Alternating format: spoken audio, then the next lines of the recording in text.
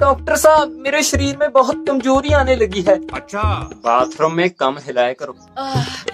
Doctor साहब कोई दवाई दे दीजिए। अच्छा। ये लो दवाई सुबह शाम पीनी है। अच्छा डॉक्टर साहब कोई खाने पीने का परहेज? खाने पीने का कोई परहेज नहीं। परहेज करना डेनी डेनी को ना देखने का। पैसा ही पैसा हो गया। डॉक्टर साहब मुझे जुकाम हो गया है। कोई ठंडी चीज़ खाई थी क्या? हाँ कल रात आइसक्रीम खाई थी। अच्छा। तो आइसक्रीम माँ चदाने को खाई थी क्या? जुकाम तो होगा ही। साले आइसक्रीम को गर्म करके नहीं खा सकता था। सॉरी डॉक्टर साहब कोई इलाज बताइए ना। हाँ गलती करे तू इलाज बताऊ मैं। ये कैसा डॉक्टर है ये साला? अरे। डॉक्टर साहब मेरे गले में बहुत दर्द है। तुम्हारा तो गला काटना पड़ेगा। अरे डॉक्टर साहब कोई आसान सा तरीका बताइए ना। आसान इलाज तो ये दवाई पी लेना बिल्कुल ठीक हो जाओगे।